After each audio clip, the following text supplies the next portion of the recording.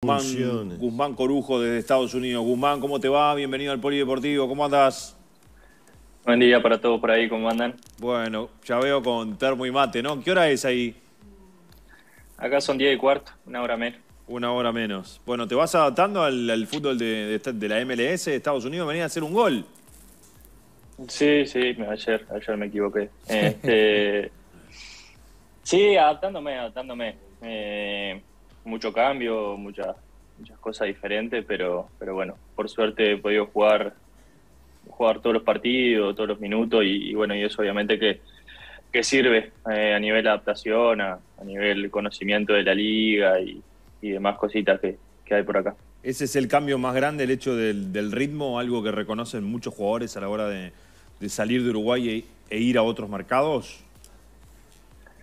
Sí, eh, acá la verdad que es un fútbol muy intenso, eh, donde todos los equipos corren una barbaridad. Quizás de lo táctico no sea el más ordenado, pero, pero donde cualquier equipo corre impresionante y, bueno, y hay que, hay que meter pata porque si no, no, te da. Guzmán, sabes que el otro día, hablando con Pancho Ginela, que está en Los Ángeles, eh, le hacía una pregunta si no se subestima demasiado a veces a la MLS y cuando te encontrás, cuando llegás a la liga, te encontrás con algo totalmente diferente. Y pasa mucho con jugadores extranjeros que vienen al fútbol uruguayo, que la subestiman la liga, que piensan que es de una manera, que es una papa jugar acá, y se terminan encontrando con otra realidad. ¿Te pasó algo similar a vos? Sí, a ver. Eh, yo personalmente no conocía mucho la, MLS, más de por ahí algún partido que, enganchaba para mirar, pero no es una, una liga que, que se pase mucho en Uruguay, que se consuma mucho en Uruguay. Y, y bueno, y sí sabía de, que venían jugadores de mucho renombre, quizás que jugadores que, todavía estaban jugando en Europa y, estaban jugando, no era que ya estaban retirados, este, venían y elegían este mercado y, bueno, y no, no, sabía bien por qué podía ser. Y, la verdad que sí, una, vez que llegué acá me, sorprendí eso, de, la intensidad con la que se juega. Eh, lo dijo Higuaín en una nota hace poco de que si los jugadores pensaban en venir a retirarse acá, eh, que le iban a pasar mal. Porque de verdad que se corre muchísimo. Una liga muy física. Este, y, bueno, cuesta un poquito la adaptación, pero, pero yo hoy día me siento ya adaptado y, la verdad, como te decía, al haber jugado tanto partido, tantos minutos, eh, ya me siento muy cómodo. Claro, Guzmán, este, esto lo, hemos charlado. 17 partidos jugaste hasta ahora que llegaste ahí al, al Charlotte. Ayer ganaban, este, bueno, con un gol tuyo ahí que, dentro del área recién lo veíamos, llegaste para definir. Terminan perdiendo con Montreal. Montreal es uno de los mejores equipos de tu conferencia, ¿no? Está a un punto del primero. Este, pero has logrado algo muy importante, llegar a la MLS y jugar, que eso me parece que para vos era trascendente también, una franquicia nueva tener, eh, ser un poco la base del equipo. Eh, vos siempre estás en el equipo. Sí, Fede, este, por suerte me ha tocado jugar eh, todos los minutos de, lo que fue la liga y, en Copa también tuve un poco de participación. Este, si ayer nos tocó enfrentarnos un equipo, un equipo durísimo de visita, que, que, bueno, el otro día lo hablábamos, que lo difícil que es jugar acá fuera de casa. Este, y, y bueno, eh, habíamos empezado perdiendo eh, a los 4 o 5 minutos del primer tiempo, después logramos empatar eh, y sinceramente después había equilibrado el partido y, y esas cosas que a veces no encontré explicación, una salir como no, no 100% enchufado a lo que fue el segundo tiempo, nos costó el, el gol casi en el inicio del segundo tiempo y después por más que que dominamos eh, en la cancha y que tuvimos la pelota, no, no pudimos generar eh, muchas ocasiones de gol. Tuvimos una ya después de un córner que, que, uno de los delanteros nuestros la tiró por arriba del travesaño, que, que podría haber sido el empate, pero, pero al final te quedas con, bueno, con, con ese sabor amargo de, no poder conseguir el punto afuera, que, que habíamos hecho mérito. Eh, competimos contra un equipo durísimo sin meter excusa, pero también tuvimos un montón de bajas por, por casos de COVID en la semana, casi 10 jugadores este, en un equipo que es nuevo y, que, que, recién está empezando tener esa cantidad de bajas y en jugadores que, vienen jugando, no, no son jugadores que no estaban jugando, eh, se siente. Eh, Guzmán, ¿cómo toma la noticia un jugador de la MLS que ayer se anunciara que, que, Bale va a ir a jugar a Los Ángeles, que también Giorgio Chiellini, o sea, jugadores de prestigio mundial, en este caso este, que viene del Real Madrid, llegan para jugar en la MLS. Está un poco lo que vos decías, ojo, que no vengan acá y se crean que va a ser una papa, o a la vez también esto prestigia la MLS para todos ustedes. Y son las dos cosas. Este, le da prestigio, sin duda. Jugadores con ese renombre, con todos los títulos y la carrera que tienen, este, sin duda que, le da prestigio a la liga. Eh, también exige a, a, los que se vayan a enfrentar a, esa clase de equipo, porque son jugadores que, que no puedes darle ni medio metro porque no te perdonan. Y, y no, y sin duda, acá si no corres, si no estás dispuesto a correr, de, de, entregarte 100%, la va a pasar mal. Este, obviamente que después la experiencia te da también eh, otra tranquilidad quizá por ahí que de poder manejar un poco más, pero al final tener que terminar corriendo porque si no, no te da. Guzmán, eh, como que ha cambiado la MLS, ¿no? En, sus comienzos era una liga de, llevar a algunos jugadores referentes a nivel mundo pero que estaban terminando su carrera. Eh, después empezaron a comprar fichas de jugadores jóvenes. Bueno, pasó el año pasado. Eh, Orlando se llevó a Facu Torres, se llevó a César Araujo, ya tenía a Mauricio Pereira y ahora está pasando otra vez.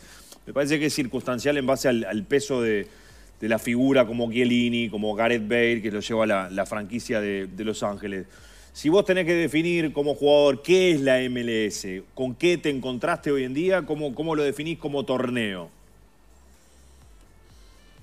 muy competitivo. Muy competitivo porque todos los equipos se, arman de muy buena manera, eh, donde hace empezar mucho las localías. Y, y aparte de eso, donde se juega con intensidad, como te, lo dije ya tres, cuatro veces, porque de verdad fue de las cosas que más me sorprendió, este, la intensidad con la que se juega acá. Y sin duda que, que sirve muchísimo para, para crecer.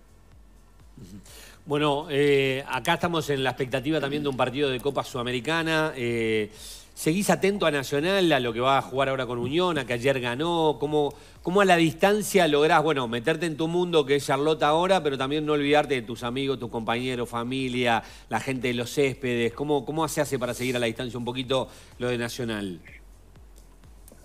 Sí, estoy en contacto con muchos de los, de ahí de, de Nacional, obviamente por, por una amistad, porque les tengo mucho cariño, este, con gente también con funcionario que, dos por tres puedo hablar.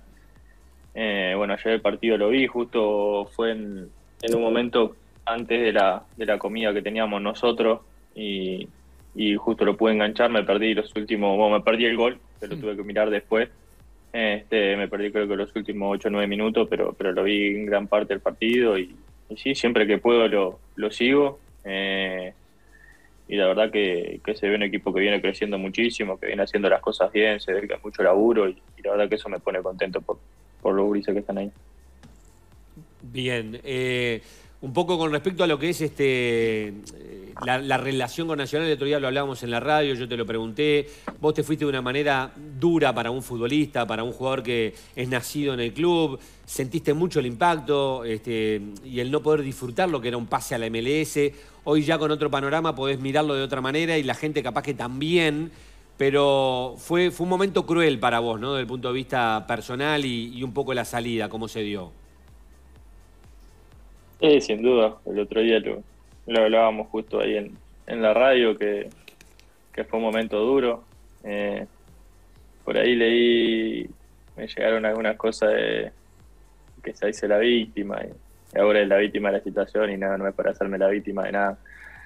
Yo reconocí, reconocí mi error en el momento, este, y, obviamente que me arrepiento de, de cómo se manejó la situación, quizás se podría haber hecho de otra manera. La forma sobre todo, ¿no? Eh, Sí, ese, esa llamada que, no pudimos hacer a tiempo para, para poder dejarle las cosas claras a José en ese momento de Cunex y, bueno, después obviamente que, se transformó todo en algo enorme y pasó lo que pasó.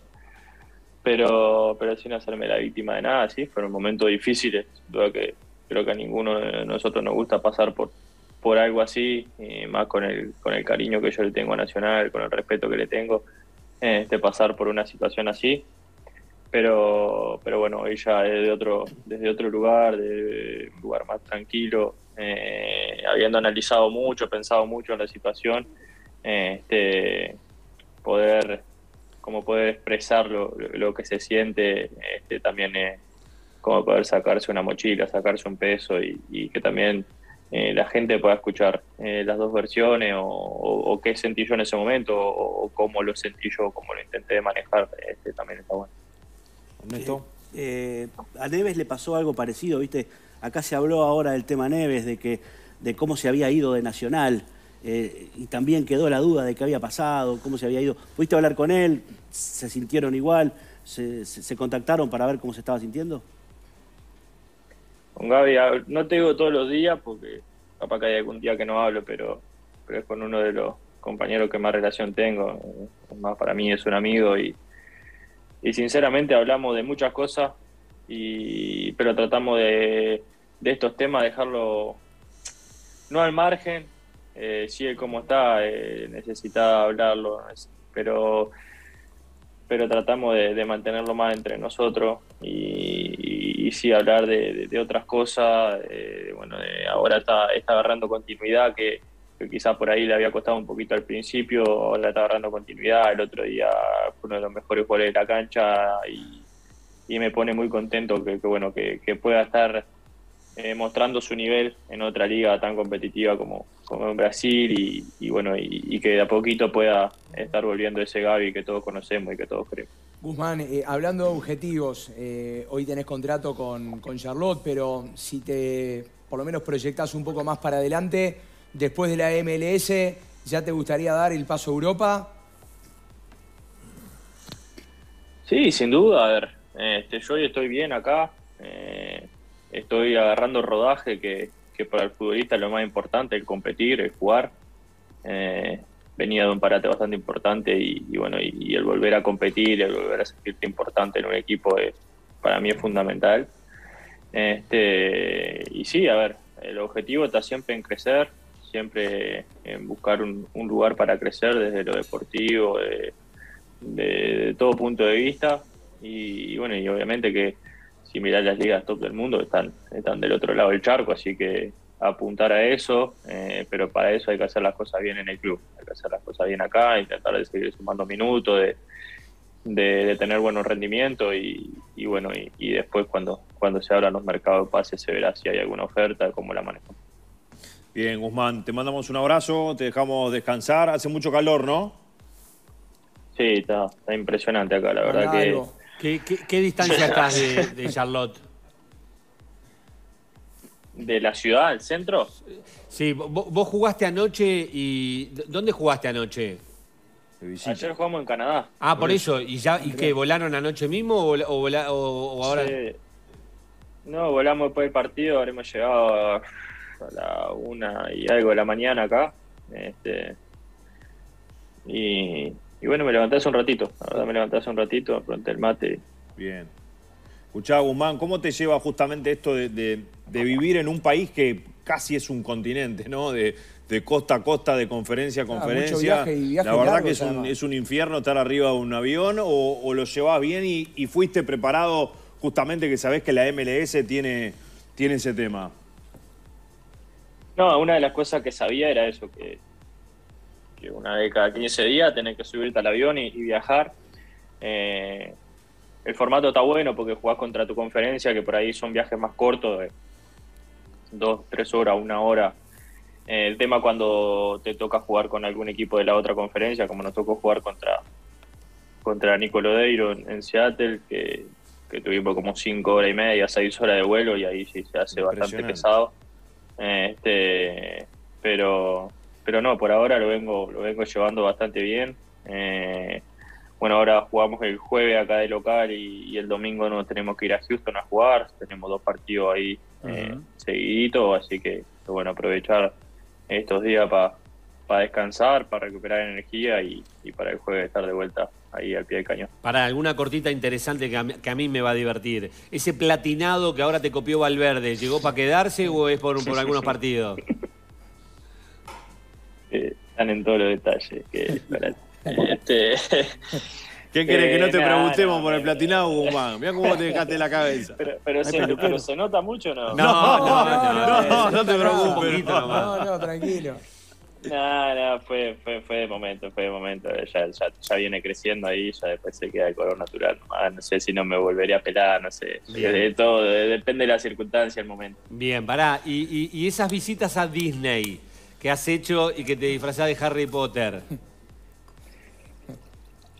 Y bueno, hay que, hay que estar, hay que, hay que estar ahí en- metido en el, en el personaje. Este, sí, a ver, eh, otra de las cosas que, que tiene, que tiene acá y que, que hay mucha, muchas cosas para hacer. Eh, nos dieron una semana libre en, en el momento de la fecha FIFA y, y bueno, y aprovechamos, aprovechamos ahí para irnos a descansar unos días, tuvimos de vacaciones. Eh, Este, te permite también eso, estar acá, de, tenés eh, por ahí viajes cortos que podés hacer a lugares para conocer, lugares lindos, eh, este, que sirven también para, para despejar la cabeza y para, y para recargar energía para, para lo importante que después es jugar la pelota. Escuchá, solo para calentarme nomás. Este, vos dijiste calorcito ahí en, en Charlotte, acá frío. ¿Cuánto tenemos, Romano, 6 acá? grados. Ocho. Ocho. 8 grados acá. ¿Cuánto ahí dijiste, Humán?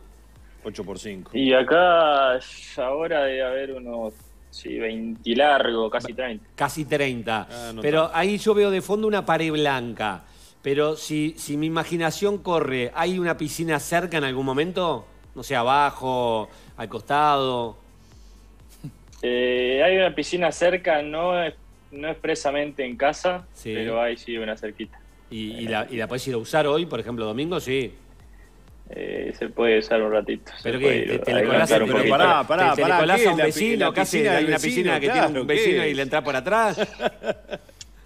Y son, son arreglos que tenemos con los vecinos, por ahí cuando se hace un asadito se lo invita y después no deja ir a la piscina. Ah, muy bien, muy No, bien. no, no, este, hay, hay una piscina acá en el barrio que, que es para, para el uso de, de, todo el- de todos los vecinos y, y bueno, y la verdad que, que está lindo ahí para ir a, para ir a tomar unos mates. A la sombra, ¿no? Pero para ir a tomar unos mates. Está perfecto. Arrancandonga. ¿Te das cuenta? Nosotros hasta la- yo hasta las 2 de la tarde acá con, con, con, con Joca, con Romano, con Gerardo Peluso que te está escuchando, con Faría. Eh, pero yo, yo, yo los he visto que se castigan de vez en cuando, prenden un fueguito por ahí. Ah, sé alguna cosita sí, alguno- bueno, al- ahí le- alguno, alguno de los que están ahí sentados cocina bien, le mete Sí. magia ahí. Sí, sí, Joca sí, es muy bueno en, en- en la cocina.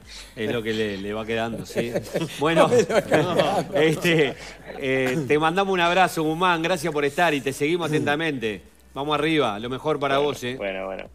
Muchas gracias, muchas gracias a todos. Espero que anden muy bien. Un abrazo grande. Un Abrazo abrazo grande, grande. Ahí gracias. estaba Guzmán Corujo, zaguero, ayer hizo un gol. Perdió el equipo con Montreal 2 a 1. Jugaron anoche en Canadá, ya viajaron para Charlotte. Y bueno, este, la MLS, ¿no? Que se está llenando de figuras importantes para, para el campeonato. Eh, qué experiencia para Brian Rodríguez y para Pancho Ginela, ¿no? Sí, claro. en Los compartir Ángeles de- vestuario con Bale y con Chiellini. ¿Qué Sí, te parece? con, con, eh, a ver, dos jugadores totalmente distintos. Este, uno Chiellini como campeón del mundo, bueno, Gareth Bale eh, increíblemente va a llegar como agente libre, ¿no? Los Ángeles no tiene que poner nada de ficha, seguramente va con un sueldazo Sí. a la MLS. Me dijo Gerardo que para el primer partido él lo dejaría en el banco a Bale. Si anda bien, juega. Bale se dejó en el banco hace, hace años, que se, se dejó por, por decisión propia. Viste que tirarle. Andá llevando. Pero yo le voy a decir una